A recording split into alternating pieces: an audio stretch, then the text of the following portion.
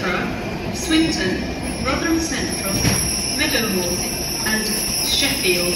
This train has two coaches. Train stops in zones 10 and 11. Penalty fares apply on this service. You must buy a ticket before boarding this train.